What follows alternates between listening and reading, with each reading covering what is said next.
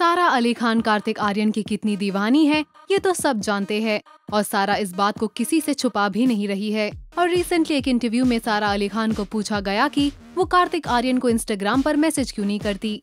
तो उन्होंने कहा कि नहीं नहीं, वो इतने भी डेस्परेट नहीं है। वैसे भी वो हर जगह कह ही चुकी है कि उन्हें कार्तिक आर्यन कितने पसंद है। और उनकी माँ अमृता सिंह ने भी कहा है कि उन्हें वेट करना चाहिए और इतनी हड़बड़ी नहीं मचानी चाहिए ये सबको लेकर। अब ये देखिए कि कार्तिक ने क्या कहा जब उनसे पूछा कि उनका क्या रिएक्शन है सारा का उन पर क्रश के बारे में। Yeah.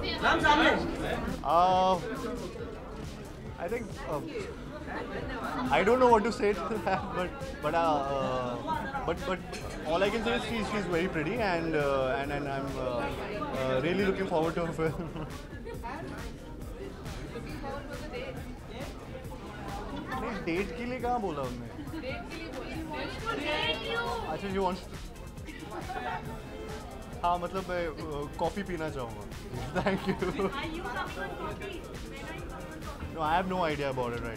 तो ये कहा कार्तिक ने, आपका क्या कहना है सारा के इस खुलेआम प्यार के बारे में? हमें कमेंट्स में ज़रूर बताएँ और इस वीडियो को लाइक करें शेयर करें और सब्सक्राइब करें बॉलीवुड नाउ पर।